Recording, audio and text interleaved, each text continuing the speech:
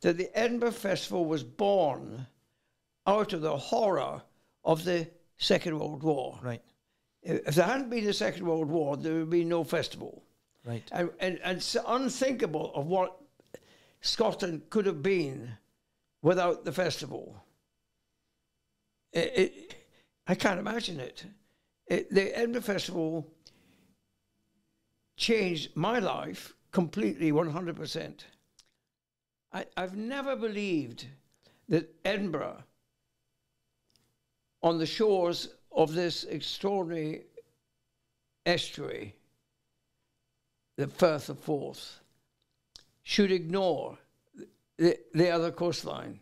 Well, can I just tell you that the first time that I met you, I was invited by a mutual friend to take a video recording of a lecture that you were giving to a class uh, full of school kids, and I didn't know who you were.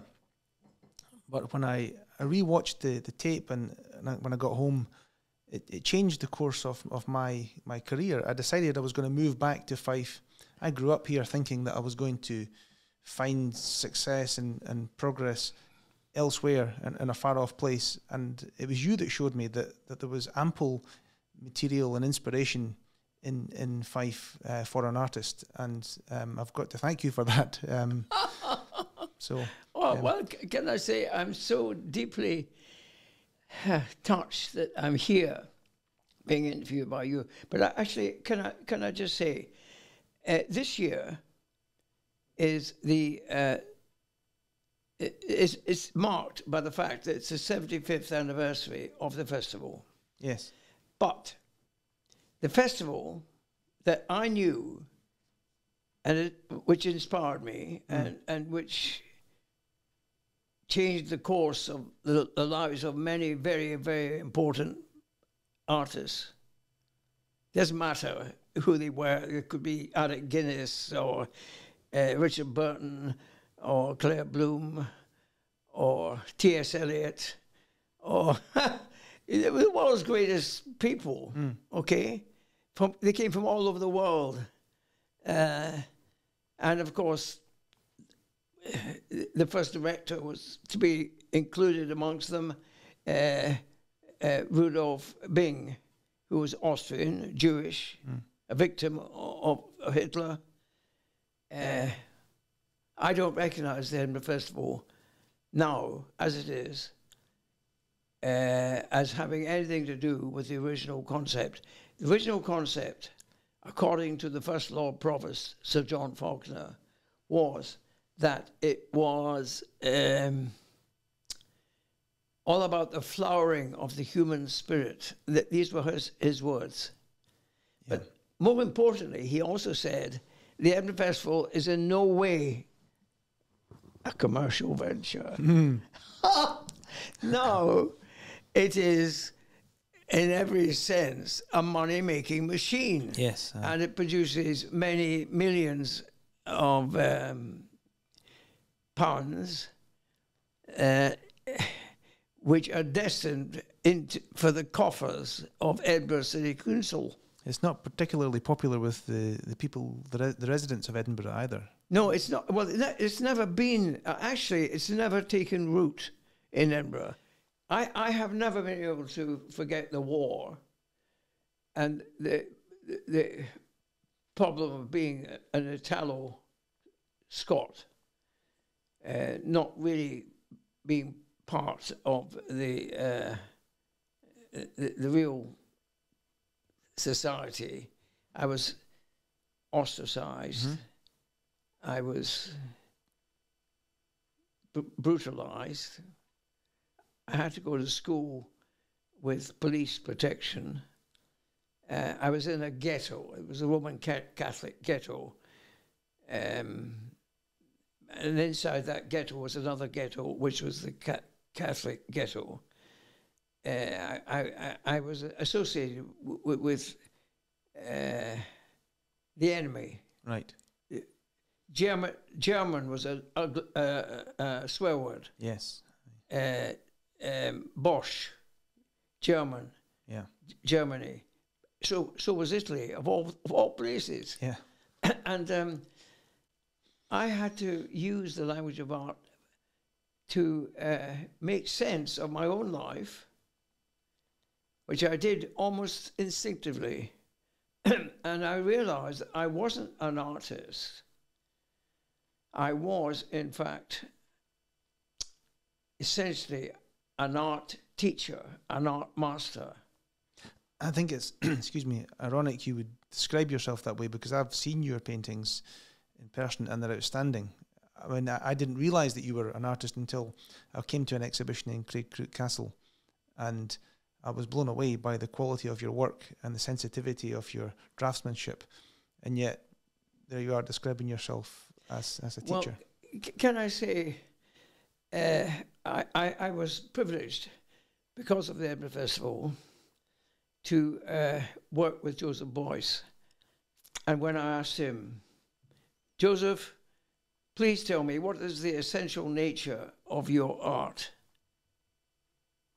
And of course, he'd survived the war wearing the wrong uniform, the uniform of uh, the German Luftwaffe. Mm. Um, he said, My art is my teaching. I don't make art. Uh, art is the language I have to use to communicate uh, certain difficult truths which are basic to being uh, living life as a proper human being. All human beings, especially when they are at primary levels of education, are artists. Yes. They sing, they dance, they jump, they play games. Uh, you give them a piece of paper and they, they, they, they, they mark it with the drawings, uh, they colour it, they, um, they, they're artists. Yes. And of course, I experienced that as a schoolmaster, as a primary school teacher. And I was determined that when I had to teach the children when they were beyond primary into secondary level, that I would, I would ignore the whole idea of the examination system, that they could not be examined by sitting in uh, a- room uh, writing down uh, information which had been drummed into them. Yeah. I, I, I could see that the language I was using was the most important language, and it was not the language used by politicians um, or business people. It was not the language, but it should have been uh, taken seriously by the legal profession, by law. It should have been uh, identified with our ideas of freedom and our ideas of justice and our ideas of civilization, but it wasn't.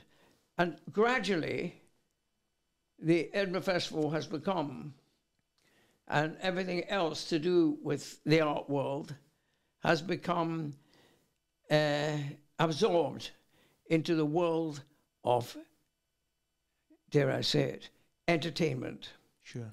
I'm, I'm going to read you one of your own quotes, if you don't mind. Um, so, in this article, you've written If our religious faith has been weakened to the point of being hardly discernible, we can take heart in how the human spirit recognizes the need to praise and treasure works of art.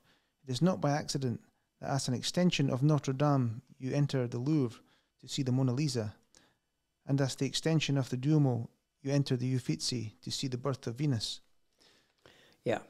I, I think that that really sums up how I've felt about art all my adult life because I don't go to church, but art is, is a religion for me. I, I see a, an artwork as an altar to the consciousness of, of, c- of the individual. C- Can I say, I'm so glad you're telling me that because I believe that although you might not have, uh, you might not be a member of a, a religious, uh, you can't identify yourself with a religious group. I think art on the highest level of expression uh, ascends to the condition of prayer.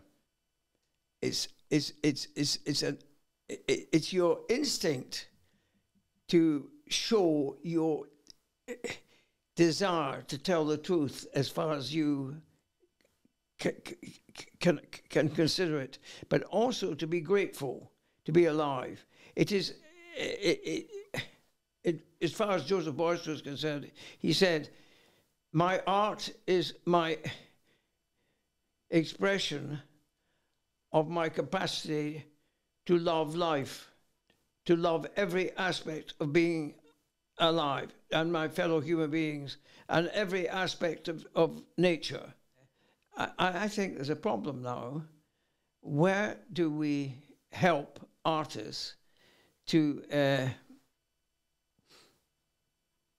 to be revealed in their totality, um, not just associated with a world where everything is commodified. I think art is a gift.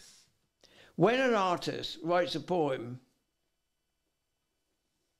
when Heaney, who was a friend of mine, wrote whatever he wrote, it was a great gift to humanity. Right? Mm-hmm. There's no doubt about that. Absolutely. If you're writing about a man's a man for all that, uh, you're possessed of the same mindset as Joseph Beuys, who is saying uh, Jimmy Boyle is a human being, he's, he's a murderer, but he should be given the chance to use the language of art. He's never had that chance. He's a murderer, and he's cut off from society. And uh, but it wasn't just about Jimmy Boyle; it was about the, the experiment Mm. uh, in penal reform, which was taking place. I had to identify myself with that, and I, I was I was condemned by the Arts Council of Scotland. I'll never forget it. Mm. As bringing dishonour to the meaning of art. dishonour to the meaning of uh, Demarco Gallery Yeah. and dishonour. Uh, yeah, uh, I, I, I, I, I couldn't help but laugh as, as I was sitting across the table, and then this was going, and then they were saying, "I- "You, you don't deserve a penny of public support."